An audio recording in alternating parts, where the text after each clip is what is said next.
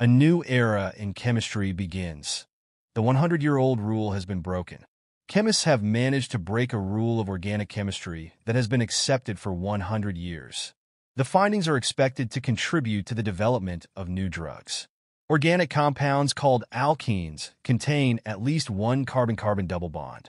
Each of these carbon atoms usually lies in the same two-dimensional plane as the other atoms to which it is attached.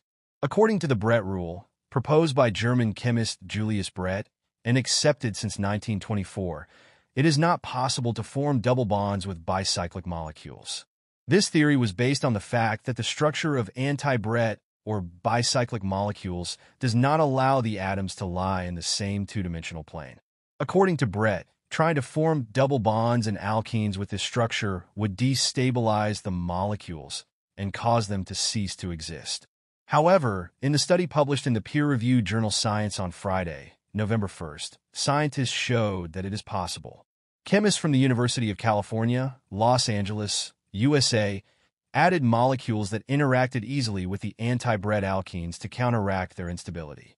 This trapped the unstable ones and removed the other molecules.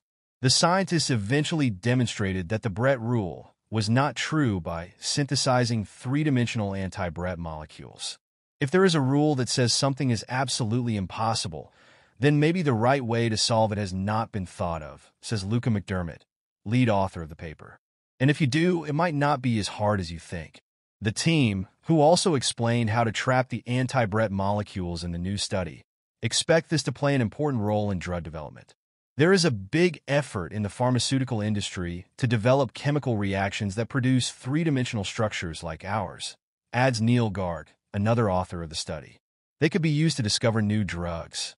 The researchers plan to synthesize more compounds with unusual structures in the future. If we can question and push the Bredt rule after 100 years, there are probably all kinds of other rules waiting to be re-examined, Garg says.